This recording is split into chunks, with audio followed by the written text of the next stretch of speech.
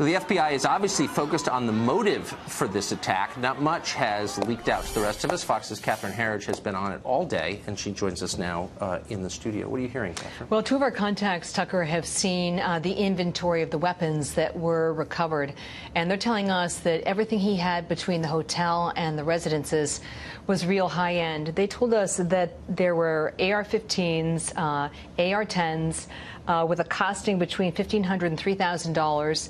And when you add uh, the scopes and the tripods, you're looking at an investment, investment pardon me, of over 100000 case. So this guy made a significant financial investment, much more of an investment that was really necessary that's right. to carry out. It's almost an exaggeration or a caricature of what would have been required. Because that's that's a number of times what a conventional AR-15 costs. They're very cheap right now.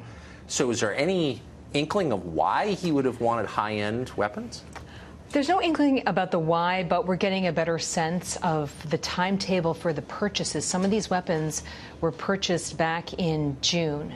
So if you take that as a data point, it suggests there was some level of premeditation as far back as the summer, if not before. And the sheriff Lombardo said at the news conference today that based on the arsenal that he had, it took significant premeditation. But you're right to note the fact that it's almost um, overcompensating, if you will, right? Because yes. there was no way he could have used all these weapons or the ammunition that he had in the hotel, and then to make such a significant investment also in the planning. From different manufacturers, apparently there were nine separate manufacturers, which itself is very uh, odd. Finally, ISIS, as you reported yesterday, has taken credit for this guy in two different press releases. It was dismissed sort of by federal authorities but they seem to leave a little bit of wiggle room there. Do we know anything? I mean, there's a little bit of daylight uh, there. What jumps out to one of my contacts who does a lot of collection of social media uh, from ISIS and Al Qaeda for the government is that it's unusual for them to really double down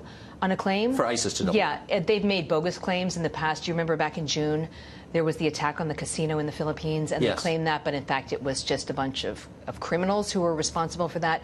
But it's unusual to see that kind of doubling down and then no obvious proof of contact or evidence or a photo that would allow them to say, see, this is our guy or this is us Skyping with our guy. So everything about the case, as you just said with your last guess, is just, it's really squirrely to yeah, use a technical term, I don't believe term, it for right? a second. Yeah. A 64-year-old man, there's no evidence of digital communications for him. I just don't believe that. Yeah.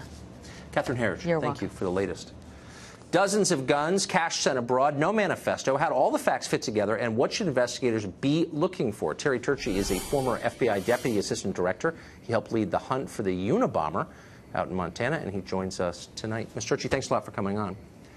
So, you bet, Tucker. What piece of the string would you be pulling if you were running this investigation right now?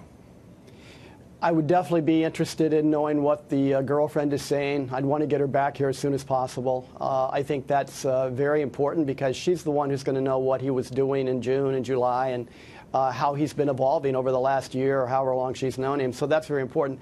Also, in this case, it's even more important because, quite honestly, nothing is making sense based on what we know about prior cases and prior subjects like this it's very important that the uh, authorities in Las Vegas do exactly what they seem to be doing, which is following the trail, staying on the trail of the forensics, the crime scenes, the actual operational part of the investigation, the variety of special projects, doing all, all the things that you might say are kind of routine, but they're really not. Finding out where every camera is located, getting all the film, trying to find uh, people and witnesses both inside and outside the perimeter of the crime scene. All those things are the things that are uh, factual.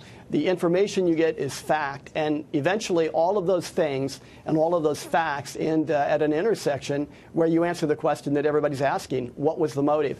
But if you don't stay on that trail, and you start getting into all kinds of theories, because we could sit here now and talk for an hour and we could probably come up with a hundred theories. Right. Every one of those, if investigators started worrying about them or getting sidetracked, they would end up uh, somewhere in a swamp. So they have to be really focused on that trail that I, uh, I always like to call it. Well, here's an actual fact. I mean, obviously, nobody is farther from the profile in your mind's eye of an Islamic State operative than Stephen Paddock. He just doesn't look like the guy.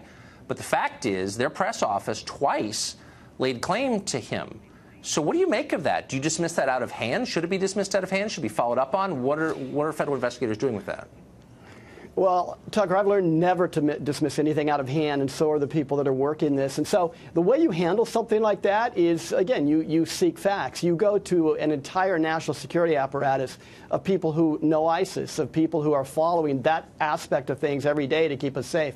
And you talk to them about what's going on. You have them on the task force that's working on this. And every day is different. So they're going to come in every day with updates and information and, and help you try and figure out and kind of navigate your way through this. In addition to that, uh, all of these search warrants that are being served, and this man had multiple pieces of property. He had cars. He had all kinds of things. They're, they're going to look for something. And again, he's not the normal guy so far. But if he is kind of the normal guy, guess what we're going to find? We're going to, I mean, the normal uh, shooter, the normal terrorist type loner. What we're going to find are journals. We're going to find something Right. where, at least for himself, he was keeping notes and he was he was kind of telling everybody in the world what was going to happen. And so you're always on the lookout for that kind of thing. Hopefully, we'll find those kinds of things and can uh, it'll shed some light on, on Well, where we were- are and how we got here. That's right. If he recorded his murders, you can't convince me he didn't leave previous, previous records of what he was thinking. That's really smart. Terry Turchi, thank you. Very good point. You're welcome. Appreciate it.